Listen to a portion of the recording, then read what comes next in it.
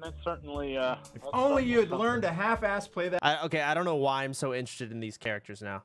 I've seen one fucking video of these kids going around the street, and I'm like, wonder what they're up to now. What's going on with their life? Oh man, like, I don't- why do I give a fuck?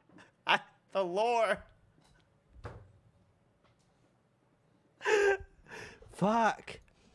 I'm gonna no. I don't. I don't. I don't. I. that base. Well, you know, I, I that's a great story too. When Tommy pretty much decided I would be a bass player.